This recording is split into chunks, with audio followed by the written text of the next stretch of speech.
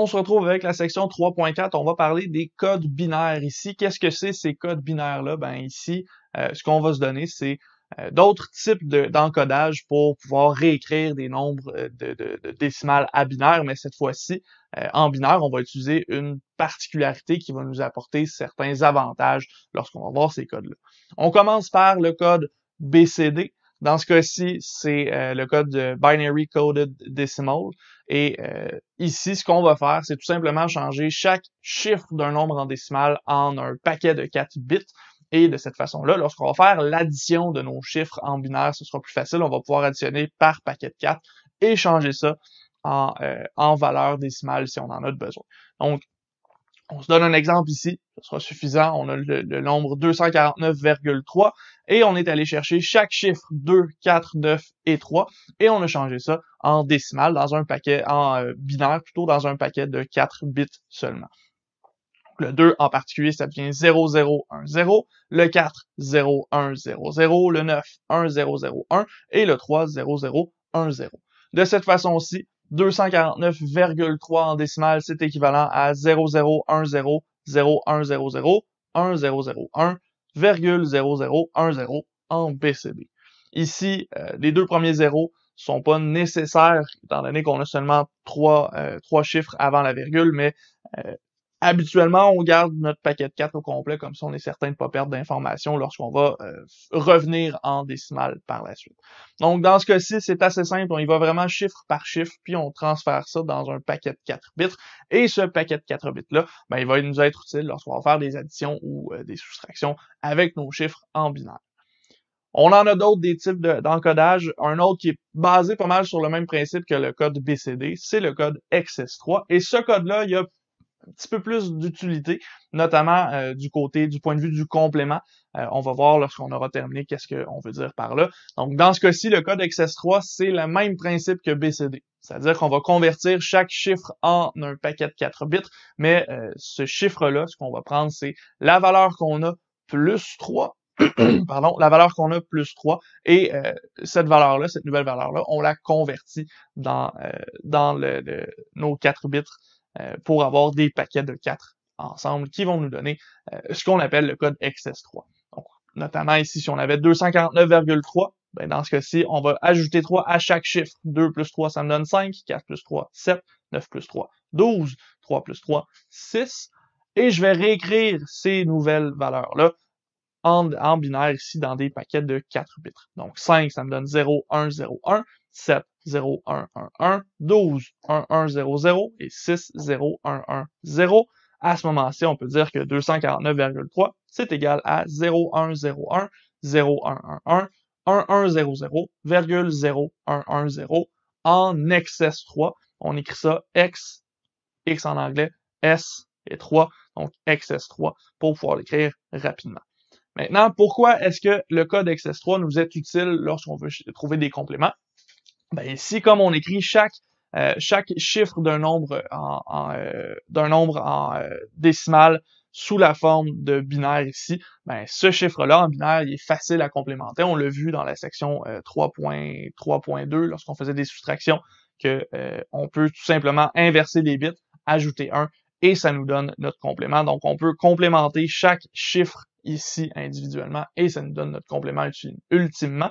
C'est plus facile de cette façon-là pour le complémenter et euh, ça nous permet d'aller chercher le complément en décimal très rapidement parce que je sais pas si vous vous en souvenez, mais en décimal, c'était pas nécessairement si facile que ça, aussi rapide que ça d'aller chercher le complément.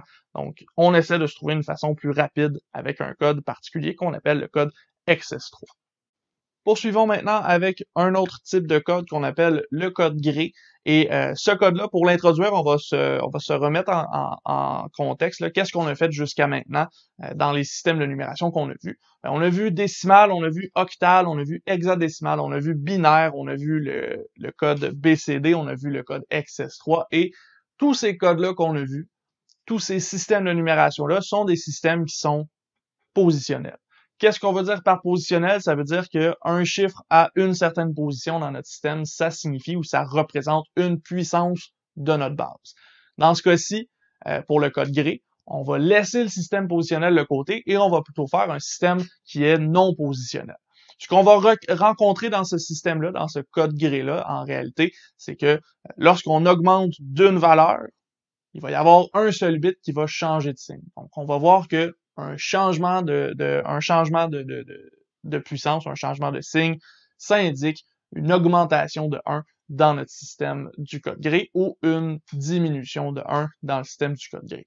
Le type de changement qu'on peut obtenir, le type de changement de signe, ce sera 0 vers 1 ou 1 vers 0. Donc, on change d'état nos bits qui sont dans les chiffres qu'on va avoir.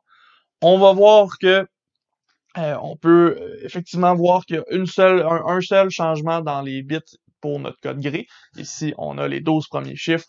Le 0 reste le même, le 1 reste le même aussi. Mais lorsqu'on arrive à 2, ben ici, on obtient 0, 0, 1, 0. Et il y a un seul bit qui a changé d'état de 1 vers 2.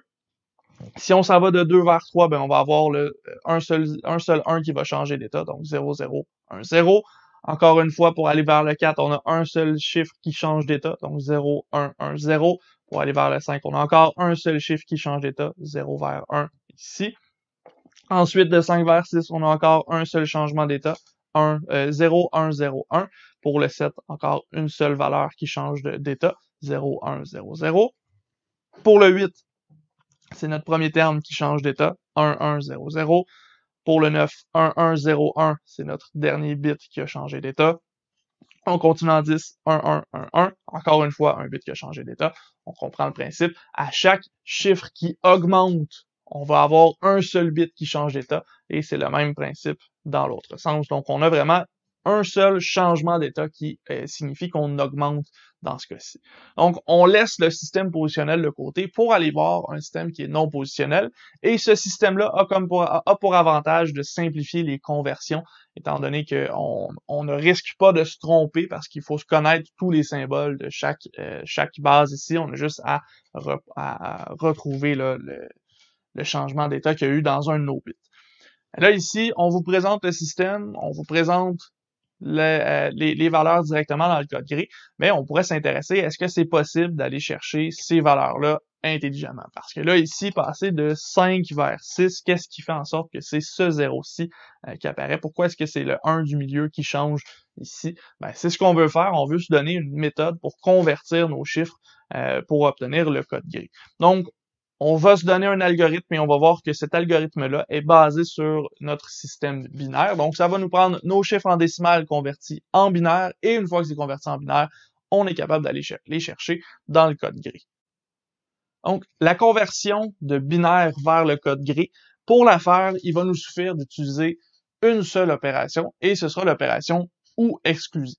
Mais ce ou exclusif-là, où est-ce qu'on le fait, avec quoi est-ce qu'on le fait? Ben ici, on va le faire avec des bits qui sont successifs, en considérant que le premier bit, celui qui est à l'extrême gauche de notre chiffre en binaire, ça, restera le même lorsqu'on va se transférer en code gris. Donc, qu'est-ce qu'on veut dire par un ou exclusif sur les bits successifs? Ce qu'on veut dire d'un point de vue mathématique, ce serait que pour obtenir le bit à la position n en code gris, on doit appliquer un ou exclusif entre les bits en position n de binaire et n plus 1 de binaire. Donc n et n plus 1, ce sont deux bits qui sont successifs. On prend celui qui nous intéresse et celui qui est euh, une position plus élevée, donc n plus 1 dans ce cas-ci. Mathématiquement, on pourrait écrire ça de la façon suivante. Le bit en code gris, donc g de n, va être égal au bit en binaire à la position supérieure, donc bit en binaire n plus 1, ou exclusif avec le bit en binaire à la position n. Et euh, avec, le résultat de notre ou exclusif ici, ça nous donne la valeur de notre position euh, gn, de notre chiffre ou de notre symbole plutôt, à la position n du code gris. Bon. Là, ici, on a fait un gros charabia mathématique et en ce moment, je vois à travers ma, à, travers ma caméra d'ici, à distance, vous avez des points d'interrogation sur les yeux. Donc, on va faire des exemples et on va comprendre qu'est-ce que ça veut dire très facilement. Donc, exemple numéro 1 on veut transférer 0110 en base binaire vers le code gris. Donc, pour faire ça ici, on va devoir aller chercher notre algorithme qu'on vient d'écrire. On a dit dans notre algorithme que le premier bit à l'extrême gauche reste le même. Donc, ça ici, ça va rester 0, c'est certain. Maintenant, si je me déplace d'une position ici, euh, à la position qui serait le troisième, euh, bit de mon chiffre, premier bit étant le chiffre le plus à droite, donc 1, 2, 3. Je vais aller ici faire un OU exclusif entre ce bit-ci, le bit en position 3, et le bit en position 4. Donc, je fais un OU exclusif entre 0 et 1. Ça veut dire que G3 ici, ce sera le OU exclusif entre B4 et B3, si je me fie à mon algorithme mathématique. Et ça, ça veut dire que je fais un OU exclusif entre 0 et 1. OU exclusif entre 0 et 1, ben, il faut qu'il y en ait un des deux qui soit à 1 et que l'autre soit à 0. Ici, c'est ce qu'on obtient. Celui-ci va tomber à 1. Je continue avec G2. G2, ici, c'est la deuxième position à partir de la droite. 1, 2. Pour l'obtenir, je vais avoir besoin de B3 et de B2 en OU exclusif. La, euh, la valeur de B3, c'est la, la, valeur binaire à la position 3. Ici, c'est 1. Et la valeur de B2, c'est la position en position 2. C'est la valeur en position 2 plutôt, qui est un 1. Dans ce cas-ci, on a 2, 1, donc ça, c'est faux pour le OU exclusif. Ça nous donne un 0.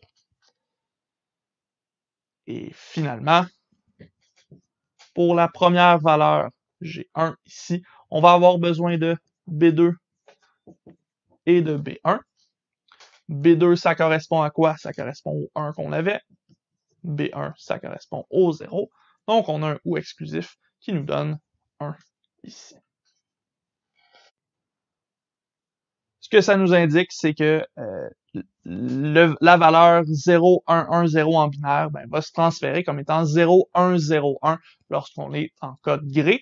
Et vous pouvez vérifier ça si vous reculez un petit peu dans notre vidéo. 0, 1, 1, 0, ça correspond à quoi ça en binaire? Ça correspond à 6. Si vous allez voir le code gris pour le chiffre 6, on obtient effectivement 0, 1, 0, 1. Donc, c'est de cette façon-là qu'on va convertir un nombre de binaires vers le code gris. On va y aller ici, bit par bit, pour aller retrouver ce, que ça nous, ce qui nous intéresse dans ce cas-ci. On fait un deuxième exemple pour juste bien saisir ce qu'on a fait. Dans ce cas-ci, 1, 0, 0, 1 en binaire. On veut mettre ça en code gris. Donc, le 1 au début reste la même chose. On avait dit que euh, la première valeur à l'extrême gauche restait toujours, toujours la même. Maintenant, on va aller chercher notre autre position. Ici, on est à quelle position? 1, 2, 3. Donc, on cherche G en position 3 code gris en position 3. Et ça ici, ben, par notre algorithme, c'est la position binaire 4 plus la position binaire 3. Position binaire 4, c'est le dernier chiffre qui est ici, c'est le 1. Position binaire 3, c'est le 0. Donc on a un OU exclusif ici qui s'opère entre 1 et 0. Ça nous donne 1. On continue avec le prochain chiffre. On est en position 1, 2. Donc G2. Ça se calcule en, utilisant la position binaire 3 et la position binaire 2. Position binaire 3, 1, 2, 3, c'est le 0 qui est ici. Position binaire 2, c'est le 0 qui est ici. Donc, on a un OU exclusif entre les deux ici. 2 fois 0, ça nous donne 0 pour le OU exclusif. Et il ne reste plus qu'à faire notre dernier chiffre. Dans ce cas-ci, on est en position 1, donc on fait G1. Et G1, ça sera calculé avec la position binaire 2 et la position binaire 1. Position binaire 2, c'est 0. Position binaire 1, c'est 1. On a un OU exclusif entre 0 et 1, donc ça nous donne 1 ici. Ce que ça veut dire, c'est que le chiffre 1, 0, 0, 1 en base binaire, donc ici 9 pour ce chiffre-là, en code gris, ce sera 1, 1, 0, 1. Donc encore une fois, vous pouvez revenir dans la vidéo, aller vérifier, c'est effectivement la même valeur que ce qu'on avait dans notre tableau précédent. Regardons maintenant comment est-ce qu'on peut faire l'inverse. Dans ce cas-ci, on va parler de, euh, on va passer de code gris vers binaire. Et ici, euh, on a une opération qui est, euh, qui est assez bien définie. Quand on fait le ou exclusif, on peut revenir à l'arrière. donc, on est capable de, de revenir à l'arrière en effectuant l'opération inverse dans ce cas-ci, en partant de l'extrême gauche. Et ici, on garde en tête qu'à l'extrême gauche, le bit reste exactement le même, donc il n'y a pas vraiment de changement. À ce moment-là, avec l'opération qu'on avait tout à l'heure du point de vue mathématique, on est capable d'isoler le, bit en position n. À ce moment-ci, on va dire que ce sera le bit en position n plus 1 en ou exclusif avec notre bit en position n du code gris. Et de cette façon-là, on est capable d'y aller bit par bit pour pouvoir faire notre conversion. Regardons ici justement l'exemple, on a deux chiffres en euh, deux nombres en code gris et on veut les convertir en nombre binaire dans ce cas-ci. Ici, notre code gris, on sait que le premier chiffre reste le même, donc on n'a pas besoin de le changer. Et à ce moment-là, ben, on peut aller chercher la prochaine position. Ici, on est en quelle position? 1, 2, 3, donc on cherche le binaire en position 3. Pour faire ça, ça va nous prendre le binaire en position 4, en ou exclusif, avec le code gris en position 3. Notre binaire en position 4, ça tombe bien, on vient de le trouver, il est ici. Donc on sait que c'est 1. Et notre code gris en position 3, c'est le 0 qui est ici. Donc on fait un ou exclusif entre 1 et 0. Dans ce cas-ci, ça nous donne 1. C'est ce qu'on obtient pour le deuxième, euh, la, position 3 de notre code binaire ici.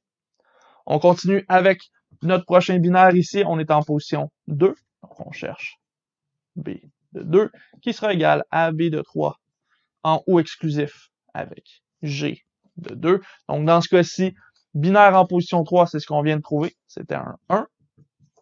Code gris en position 2, c'est un 1. Donc, ici, on a un ou exclusif qui nous donne 0. On termine avec la dernière position, binaire en position 1. Ça nous prend le binaire en position 2 et le gris en position 1. Ici, binaire en position 2, c'est ce qu'on vient de faire, donc c'est 0. Code gris en position 1, c'est 0.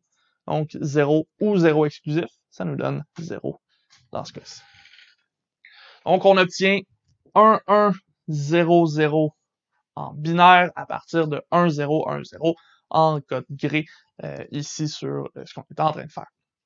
Faites attention ici, c'est très important de partir de la gauche vers la droite parce que si vous partez de la droite, vous allez manquer des binaires. Ici, les binaires qu'on a de besoin, c'est toujours ceux qu'on a fait à l'étape précédente.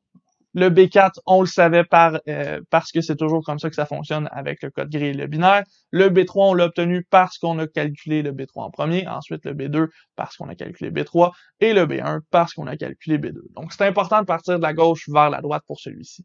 Dans euh, l'autre conversion, je suis parti de la gauche vers la droite, mais j'aurais pu faire de la droite vers la gauche sans trop de problèmes. Ici, euh, j'ai pas le choix, je dois partir de la gauche nécessairement. On fait un autre exemple où on va encore partir de la gauche et on va revoir ce qu'on a fait comme démarche. Donc, dans ce cas-ci, on part de la gauche, le premier bit à l'extrême gauche est toujours le même, rien qui change. Mais lorsqu'on s'en va à notre prochain bit, en position 3, on a besoin du bit en position 4 binaire en ou exclusif avec le bit en position 3 du code gris. Donc ici, on a 0 pour le code binaire, 1 pour le code gris. Donc ici, ça nous donne un 1 pour notre euh, ou exclusif. Pour la prochaine position, binaire en position 2, cette fois-ci, j'ai besoin euh, de notre OU exclusif entre le binaire en position 3 et le code gris en position 2. Binaire en position 3, je viens de le calculer, c'est 1. Code gris en position 2, c'est 1. Donc, ça me donne encore ici 0 pour ce code-ci. On trouve finalement le binaire en position 1. Ici, ça va nous prendre le binaire en position 2 et euh, le code gris en position 1. Binaire en position 2, c'est 0. Code gris en position 1, c'est 0. Donc, ça nous donne 0 ici également. Donc, on obtient que 0, 1, 1, 0 en code gris, ça correspond à 0, 1, 0, 0 en binaire. Et on est capable de faire cette conversion-là sans trop de problèmes. Ici, évidemment, euh, encore une fois, on est parti de la gauche, on n'a pas le choix de partir de la gauche et ça va nous permettre de trouver notre, euh, notre conversion ici de gris vers binaire. Donc, ceci étant dit, avec ce, dernier exemple-là, ça veut dire qu'on vient de finir le code gris, donc on vient de finir euh, cette sous-section-là. Il nous reste encore un code binaire à voir, le code euh, ASCII. Vous le connaissez déjà, on utilise le code ASCII souvent pour faire des, des, des, des émoticônes en texte directement. Donc, on va voir comment est-ce qu'on peut utiliser ça, le code ASCII, mais on va faire ça dans une prochaine vidéo. Donc, prochaine vidéo, on parle de euh, notre code ASCII.